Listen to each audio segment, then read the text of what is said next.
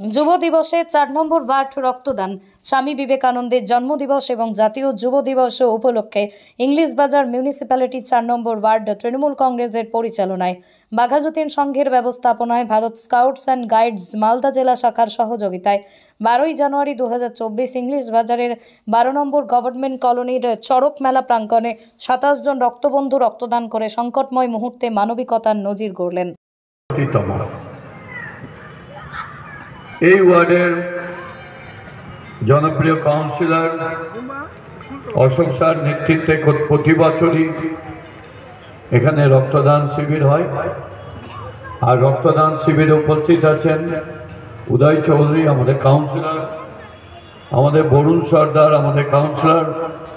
এখানে আরও বিশিষ্ট ব্যক্তিরা আছেন। আমার সবাইকে আমার আন্তরিক শুভেচ্ছা জানাচ্ছি। যদি আমাদেরকে সমাজকে চিনতে হয়, ভারতকে চিনতে হয়, তাহলে বিবেকানন্দের জীবনীটাকে পড়তে হবে, তাকে জানতে হবে।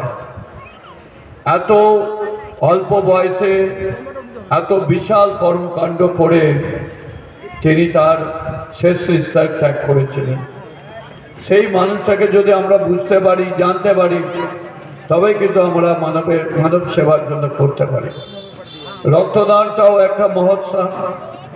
এই মহৎ দানটা যারা করছেন বা যারা আয়োজন করেছেন তারাও মহত্তর পরিচয় দিচ্ছেন।